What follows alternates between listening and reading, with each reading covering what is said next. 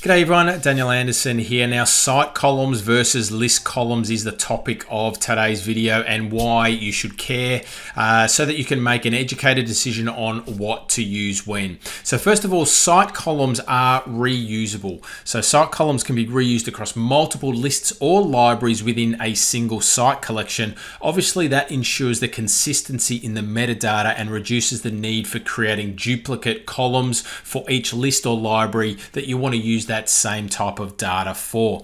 Now they're centrally managed as well, so that is a, a big pro. So site columns allow for the centralized management and any changes made to a site column, whether you're modifying the column name or the type or adding choice values or things like that will automatically propagate to all the lists and libraries that are using that column, which obviously simplifies the updates and the maintenance.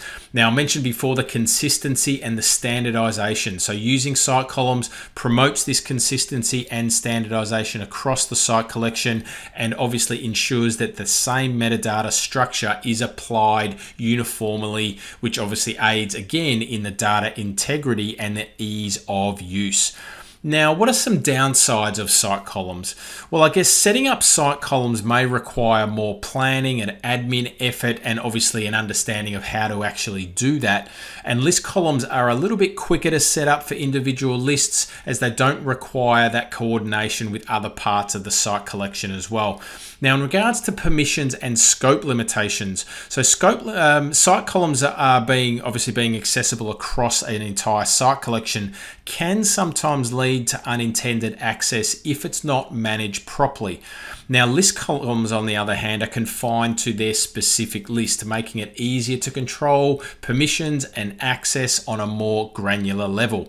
Now, complexity in change manager in change management is obviously is something again that needs to be considered. So, uh, changes to site columns can impact multiple lists and libraries, which does necessitate thorough testing and coordination to avoid this disrupting uh, or disrupting existing content.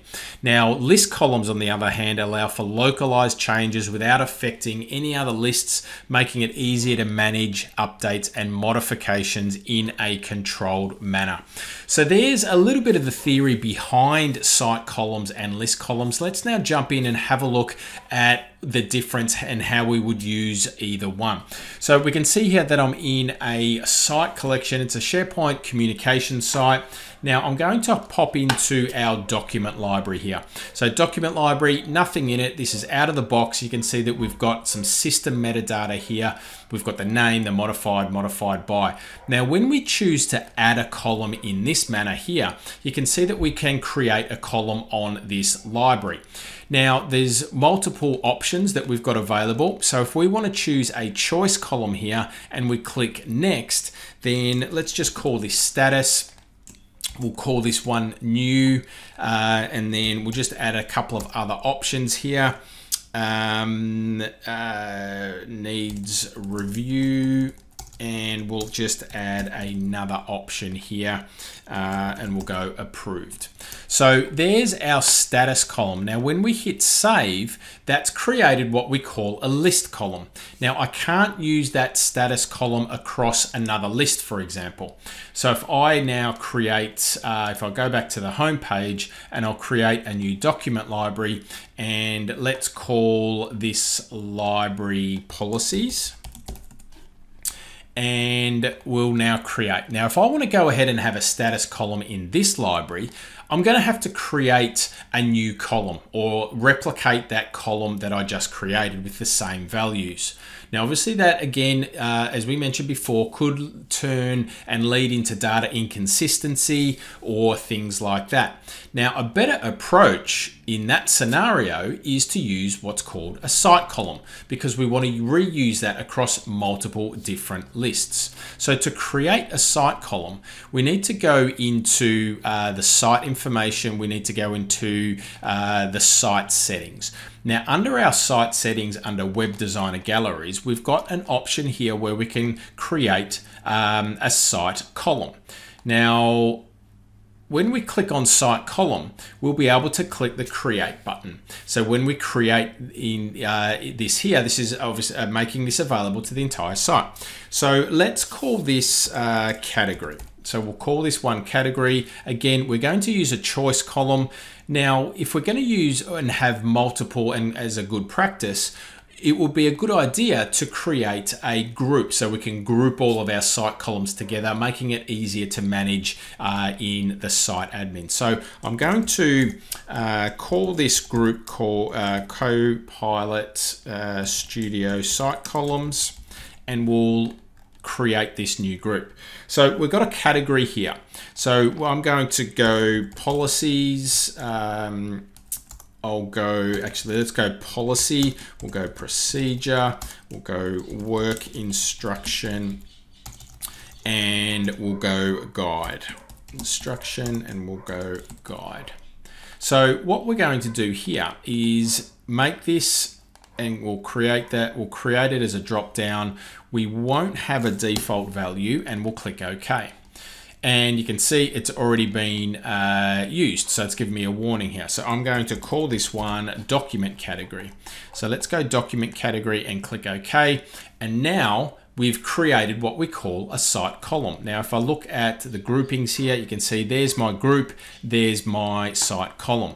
Now, what that allows me to do now is reuse and add that column across our uh, multiple different lists and libraries. So if I go into the library settings here and I'll go more library settings and you can see that I've got my columns section here. Now an option here is that we can add from existing site columns. So when I click on add from existing site columns, I can choose my group and then I can choose my document category column and I'll click OK.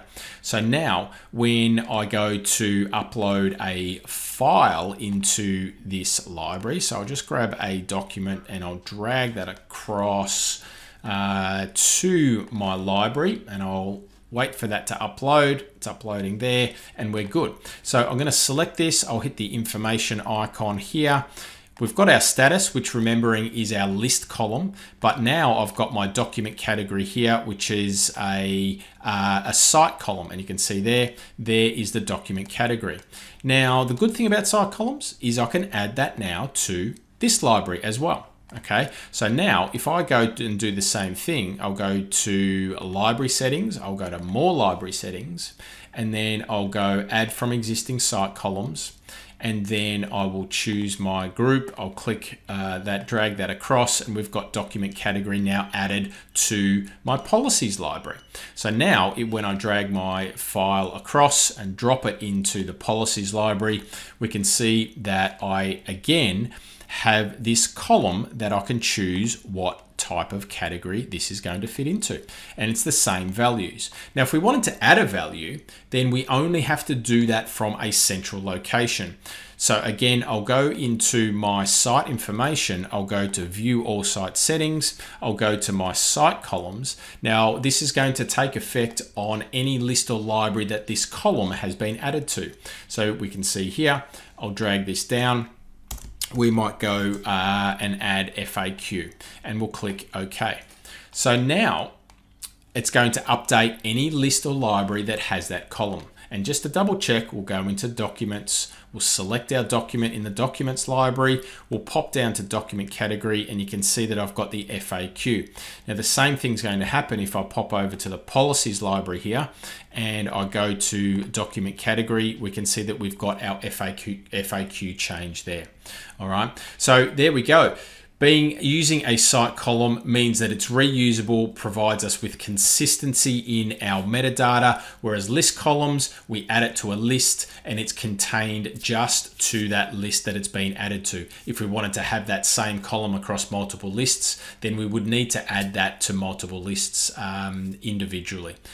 Hope that brings you some value. Thanks for watching. Site columns versus list columns. Uh, now you can decide which is best to use and when.